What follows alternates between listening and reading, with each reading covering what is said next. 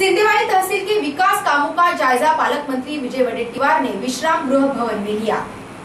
सिंदेवाही विभाग में मनरेगा अंतर्गत सेल्फ पर एक काम रहते। अभी तक एक भी काम शुरू नहीं। यह बात योग्य न होकर उक्त सभी काम जल्द करने के साथ ही आम सभा के ठहराव में नमूद के मुताबिक पांदन रास्ते का काम जल्द पूर्ण करने के निर्देश पालक मंत्री विजय वडेट्टीवार ने दिए।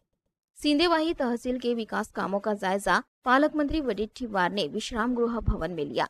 इस समय नगराध्यक्षा आशा गंडाटे, जिला परिषद सदस्य रमाकांत लोधे, गट विकास अधिकारी कुणाल उंडीरवाड़े नगर परिषद के मुख्याधिकारी सुप्रिया राठौड़, नायब तहसीलदार धात्रक आदि प्रमुखता से उपस्थित थे।